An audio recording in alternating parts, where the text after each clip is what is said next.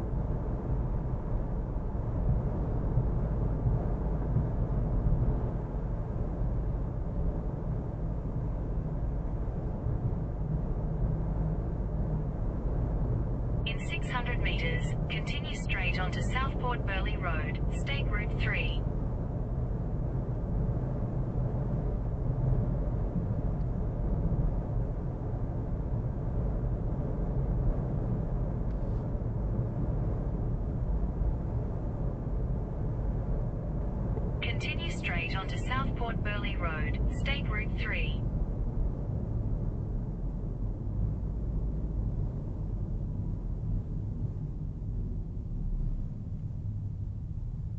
Continue on State Route 3 for 6 kilometers.